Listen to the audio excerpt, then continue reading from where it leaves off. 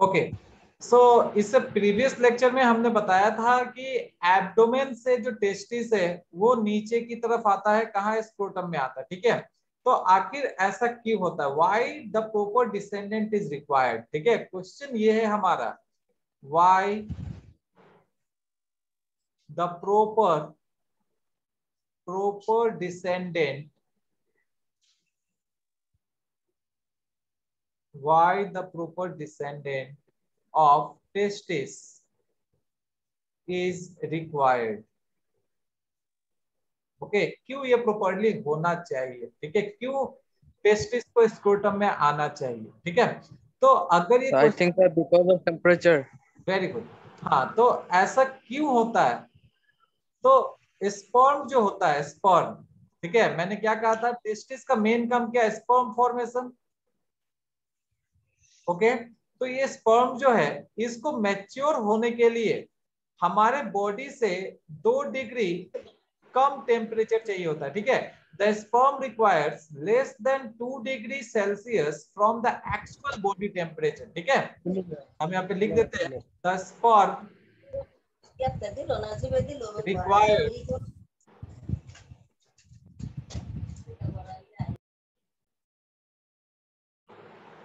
हाँ। तो स्पर्म को क्या होता है बॉडी टेम्परेचर से दो डिग्री कम चाहिए होता है ठीक है? फॉर इट्स कंप्लीट फर्टिलिटी तो हम यहाँ पे लिख सकते हैं the sperm requires less than two degree Celsius from the actual body temperature actual body temperature से स्पर्म को दो डिग्री कम टेम्परेचर चाहिए होता है, ठीक है? तो एब्डोमेन में एब्डोमिनल रीजन का कितना टेम्परेचर होगा फिर?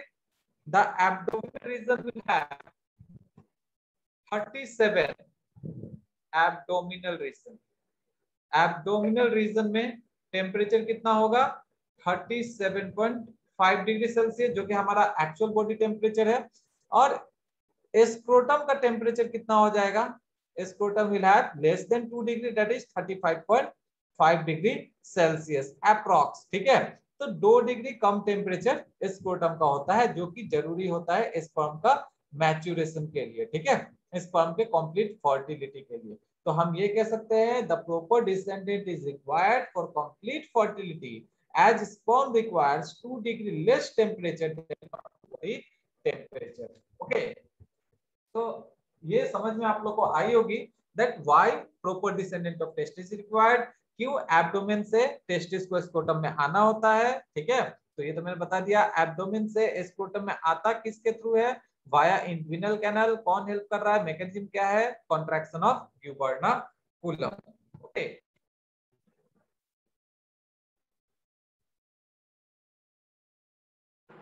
तो बच्चों, हमारा अब नेक्स्ट टॉपिक जो है, हम इसमें स्क्रोटम देखेंगे, ठीक है? स्क्रोटम के बारे में पढ़ेंगे। स्क्रोटम जिसको हम स्क्रोटल सैक भी कह सकते हैं। Sac like means pouch like structure होता है। स्क्रोटल सैक और extra abdominal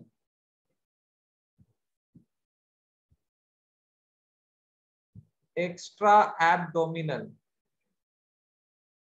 cavity ठीक है? एक्स्ट्रा एब्डोमिनल क्यों कह रहे हैं? बिकॉज़ एब्डोमिनल के बाहर होता है, इसीलिए इसको एक्स्ट्रा एब्डोमिनल ओके सो अभी मैंने बताया था आपको कि स्क्रोटम होता क्या है? स्क्रोटम एक पाउच होता है, ठीक है? जो एब्डोमिन के नीचे होता है ओके तो यहाँ पे हम ये लिख सकते हैं, ये स्क्रोटम क्या है? पाउच लाइक होता है, ठीक है? और इसमें दो मसल्स होते हैं। Scrotum is a pouch like structure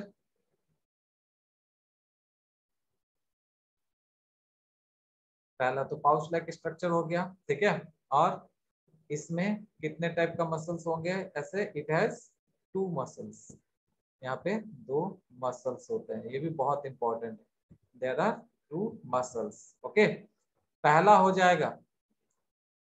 First will be dartos muscles D A R T O S पहला हो गया डार्टोस मसल और दूसरा हो जाएगा cremaster muscles cremaster muscles okay so दो टाइप का मसल्स होगा स्क्रोटम में। पहला डाटोस और दूसरा क्रीमेस्टर जो डाटोस मसल्स होता है, वो स्किन्ड होता है। S K I double N E D मतलब बाहर बाहर प्रेजेंट होता है and is connected to the abdomen Bhaya inguinal canal ठीक है? और ये जो क्रीमेस्टर मसल्स है क्रीमेस्टर मसल सस्पेंडेड होते हैं suspended I will show you in diagram मैं ये आपको डायग्रामेटिकली समझाऊँगा ओके अब ये दो मसल्स का काम क्या है, ठीक है? अब ये जो स्क्रोटम के जो दो मसल्स होते हैं डार्टोस एंड क्रीमेस्टर इनका मेन रोल क्या है? अगर इसका रोल देखे फ़ंक्शन तो ये क्या करते हैं? ये कॉन्स्टेंटली कॉन्ट्रैक्ट या रिलैक्स होते हैं, ठीक है? ये या तो कॉन्ट्रैक्ट होगा या रिलैक्स होगा, ठीक है? On the basis of the external temperature ठीक है? एक्सटर्नल टेम्परेचर के ऊपर कॉन्ट्रैक्ट होगा या रिलैक्स होगा, ठीक है? Why to maintain the temperature ये टेम्परेचर को मेंटेन करने के लिए टू मेंटेन द टेम्परेचर ये टेम्परेचर को मेंटेन करने के लिए क्या होता है? या तो कॉन्ट्रैक्ट होता है, या तो रिलैक्स होता है। ठीक है? इसे टेम्परेचर रेगुलेटर कहते हैं। क्यों कहते हैं? अभी भी मैंने बताया।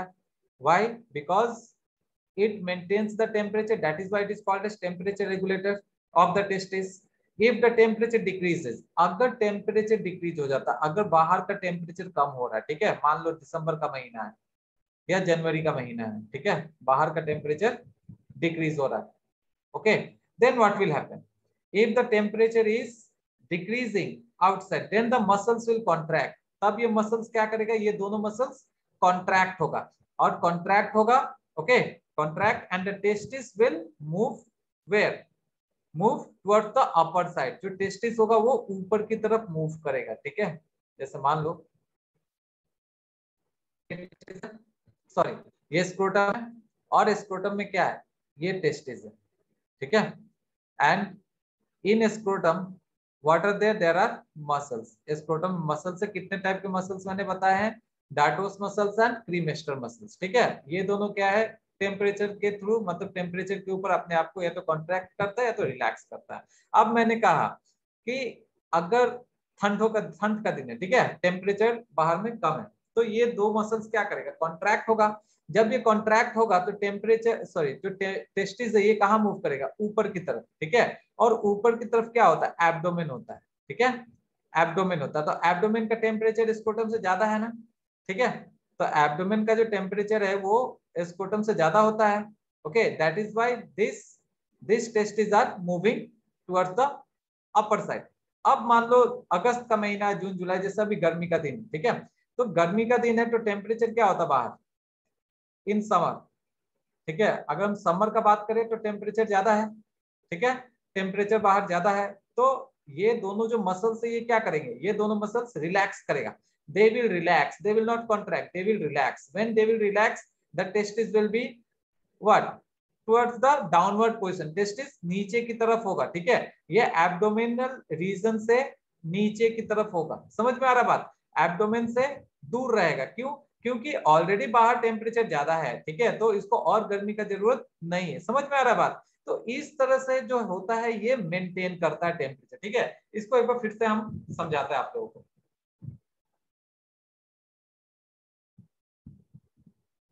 हाँ तो मैंने अभी अभी क्या बताया आप लोगों को? स्क्रोटम के बारे में। जो स्क्रोटम है, इसे हम क्या कहते हैं? टेम्परेचर रेगुलेटर भी कहते हैं। टेम्परेचर रेगुलेटर किसका? ध्यान से सुनिएगा एकदम। Temperature regulator of testis. ठीक है, ये टेस्टिस का टेम्परेचर को रेगुलेट करता है। ठीक है, अब कैसे रेगुलेट करता है? तो रेगुलेट करने के लिए इसके पास दो मसल्स है।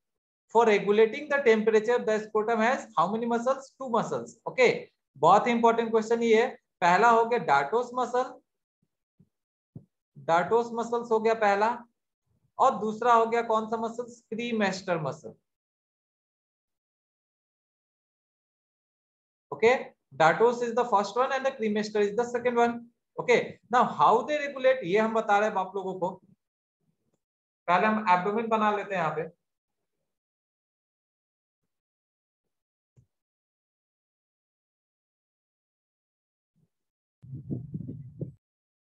हाँ तो अभी मैं क्या बता रहा था आप लोग को, जो टेम्परेचर रेगुलेट कौन कर रहा है? स्कोटम कर रहा है। कैसे कर रहा है? स्कोटम में दो मसल्स पाए जाते हैं, एक डार्टोस और दूसरा क्रीमेस्टर ठीक है?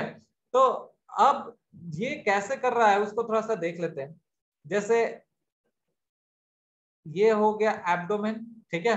ये एब्डोमिनल रीजन है, मैंने शॉर्ट में लिखा है ए आर ठीक है? और ये रहा स्क्रोटम ये स्क्रोटल सैक हुआ। एस सी तो अभी जो टेस्टिस है टेस्टिस कहाँ है? यहाँ है। टेस्टिस स्क्रोटम में, ठीक है? लेकिन स्क्रोटम से अभी कहा है? ये दूर है। क्यों दूर है?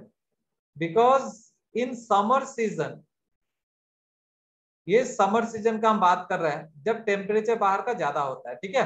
तो समर सीज़न में ऑलरेडी क्या होता है कि एक्सटर्नल एनवायरनमेंट का टेम्परेचर क्या होता है? वो हाई होता है। The temperature outside is high that's why the scrotal muscles are relaxed ये दोनों मसल्स क्या है? रिलैक्स्ड पोजीशन पे है।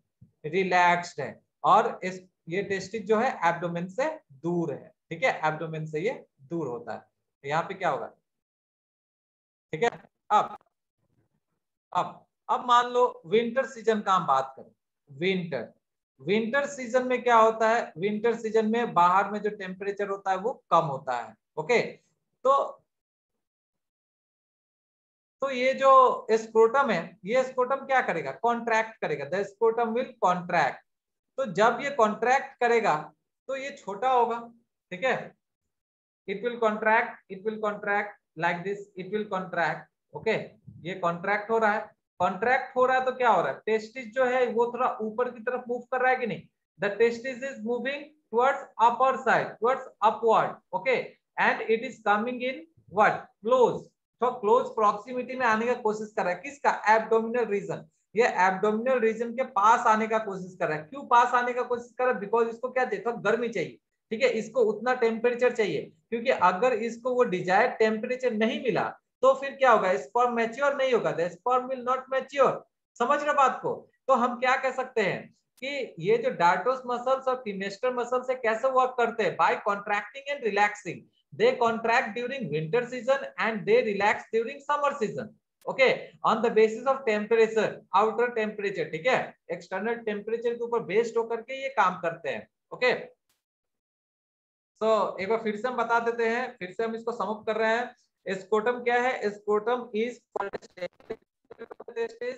if the temperature decreases then the muscles contract ठीक है if the temperature is decreasing then the muscle is contracting okay contract हो रहा and the testis is moving where in the upward direction in the upward direction ठीक है क्यों जा रहा है upward direction में for the temperature ठीक है temperature को maintain करने के लिए okay and when the temperature increases अब जब temperature यहाँ पे बढ़ रहा है ठीक है तो ये दोनों muscles क्या कर रहा है ये दोनों muscles relax हो रहा है they are relaxing and and what is the what is the movement of testis they are moving downward they are moving away loosening हो रहा है sac and the testis is moving away from the body body से ये जो testis है वो नीचे की तरफ़ आ रहा था दूर जा रहा है समझ में आ रहा बात? तो इस तरह से ये जो स्क्रोटम है टेम्परेचर को रेगुलेट करता है। किसका? टेस्टिस के टेम्परेचर को रेगुलेट करता है। Okay now now let's look at diagrammatically diagrammatic view इसका भी देख लेते हैं। पूरी अच्छी तरह से। अभी मैं एक डायग्राम देने वाला हूँ आप लोगों को।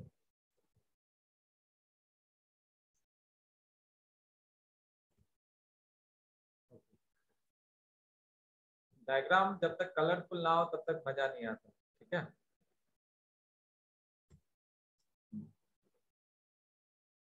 तो सबसे पहले हम स्क्रोटम बनाते हैं।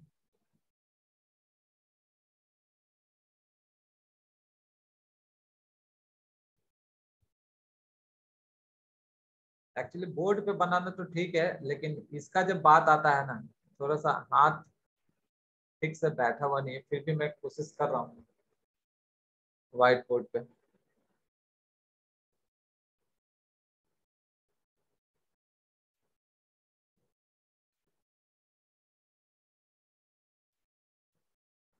This is this is is the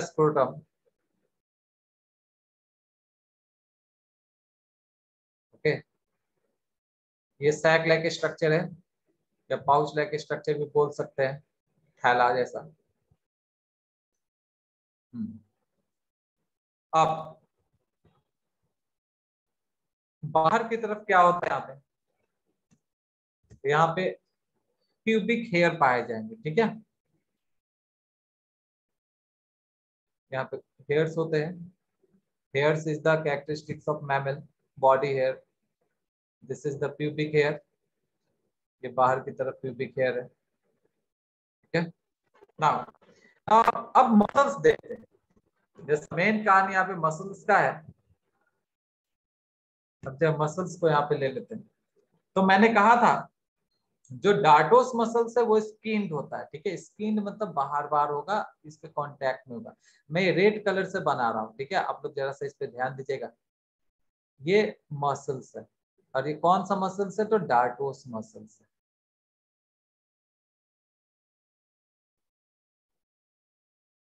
ये आउटर रीजन है, ठीक है? ये डायरेक्टली स्किन है, उसमें मिला हुआ this is the first muscles which I am drawing here okay इसको डाटोस मसल्स कह दिया okay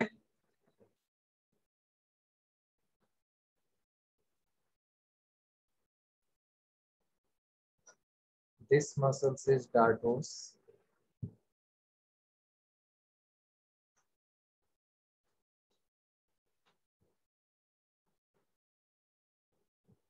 then, अब डाटोस के ऊपर क्या होगा? क्रीम एस्टर होगा। ठीक है? मैंने क्रीम एस्टर पे ब्लैक से बना रहा हूँ मैं। अब इसके ऊपर क्रीम एस्टर मिलेगा।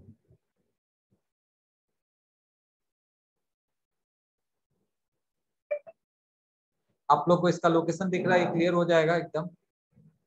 जो मैंने अभी अभी समझाया था आप लोगों को।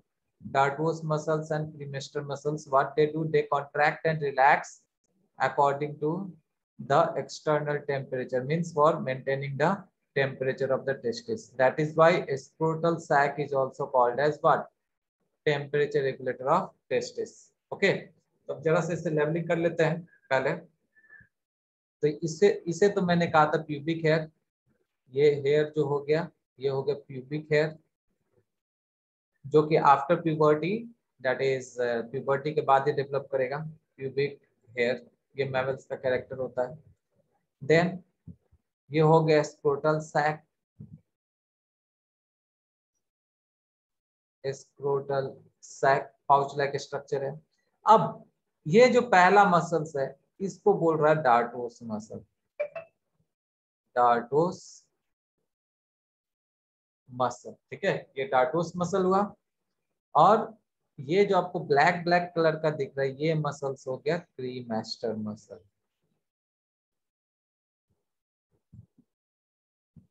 ओके सो आप लोग को dartos muscles and cremaster muscles का लोकेशन पता चल गया अभी.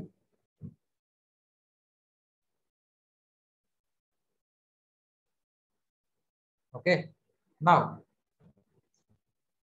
अब इसमें क्या होता है? अब स्कूटल सेट में क्या होगा? मेन काम क्या है? किसको लेकर के रखेगा? टेस्टिस को। यहाँ पे टेस्टिस होते हैं, ठीक है? अब यहाँ टेस्टिस बना देते हैं।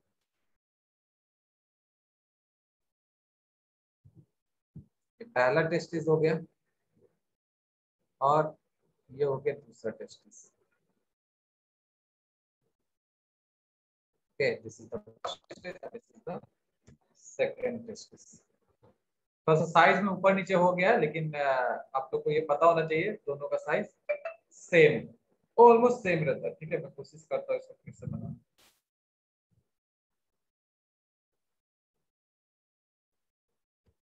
okay both of them have almost equal size. Now, here, there will be a rafe एक मीडियम लाइन होता है यहाँ पे। दोनों के बीच में ऐसे डिमार्केट करता है। इसको बोलते हैं मीडियन रैपिड क्या बोलेंगे? Median raphe R A P H E okay and as I said here अभी थोड़ा देर पहले मैंने आप लोग को बताया था that the testis will be attach with the with the scrotum by a band of connective tissue. Okay, यहाँ पे मैंने कहा था testis will be attached with the scrotum by a band of connective tissue and this band is called as what? Very important. This band is called as what? अभी बहुत बार मैं बता चुका हूँ. Very good. Cubernaculum. ध्यान से एकदम पढ़िएगा डायग्राम. या ग्यूबर्नाकुलम ठीक है इसको ग्यूबर्नाकुलम टेस्टिस कहते हैं अब अब ये टेस्टिस आया कहाँ से है? तो एब्डोमिनल रीजन से आया है तो एब्डोमिनल रीजन से आया है तो किसके थ्रू आएगा? इनविनल कैनल के थ्रू तो अब हम यहाँ पे इनविनल कैनल बनाने वाले हैं ठीक है? This is the inguinal canal अब यहाँ इनविनल कैनल बनाते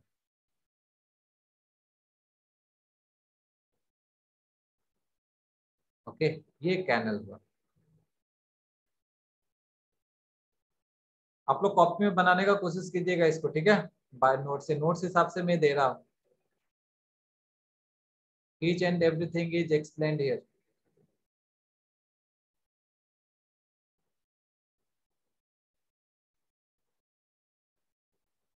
okay this is the canal like structure ठीक है?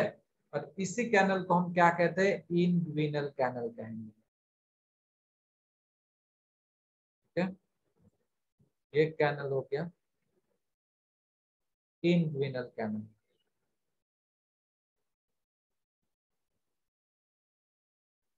This is an inguinal canal. Now,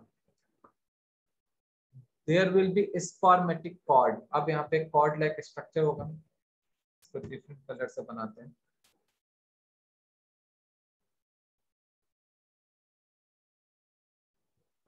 time is running out only 10 minutes left तो काइंडली इसको सम अप करते हैं पहले, ठीक है? अब ये देखो, ये कॉर्ड लाइक स्ट्रक्चर है, ठीक है? ये जो कॉर्ड लाइक स्ट्रक्चर आपको दिख रहा है, इसको स्पर्मेटिक कॉर्ड कहते हैं। स्पर्मेटिक कॉर्ड देखो टेस्टिस के साथ कनेक्ट है, ठीक है? आ कहाँ से रहा है? Inguinal canal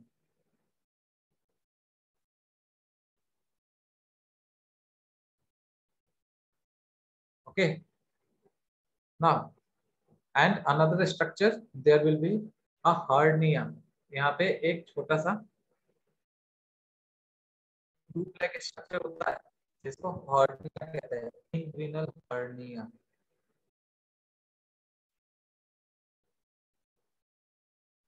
like this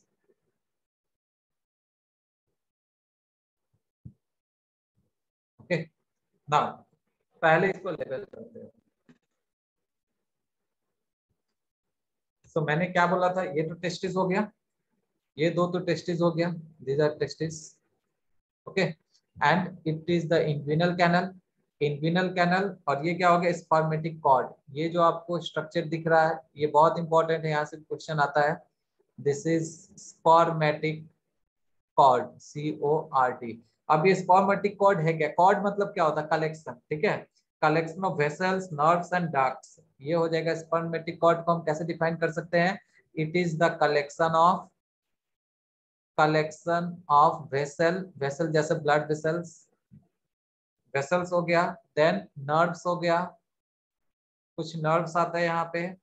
and ducts ducts मतलब जो कैरी करता है, ठीक है? Ducts that runs to and from the testis that runs to and from the testis okay. जो टेस्टिस तक आता है और टेस्टिस से फिर बाहर भी जाता है। That is to and from the testis उसको स्पर्मेटिक कॉर्ड कह रहे हैं, ठीक है? और ये जो स्ट्रक्चर है, मैंने जो ये दिया यहाँ पे, ये क्या है? इनविनल हर्निया ठीक है? इसको हम कहते हैं इनविनल हर्निया कभी कभी सुनते हो आप लोग के हार्निया हो गया, ठीक है? हार्निया बढ़ चुका है, ठीक है? हाँ हार्निया का ऑपरेशन तो ये जो वायर लाइक स्ट्रक्चर है, ये बढ़ जाता है, ठीक है? ये लंबा हो जाता है, जैसे पेन होता है, ठीक है? अभी जो इनविनल हार्निया जो है, ऐसे तो नहीं पूछते लेकिन अगर पूछते हैं कि इनविनल हार्निया में क्या क्या होता है तो हम क्या कह सकते हैं? इनविनल हर्निया का जो कंटेंट है कंटेंट ऑफ़ इनविनल हर्निया इसमें क्या क्या होगा? तो पहला हो गया इंटेस्टाइनल लूप इंटेस्टाइन इंटेस्टाइन के बारे में आप लोग ने पढ़ा है इलेवेंथ में?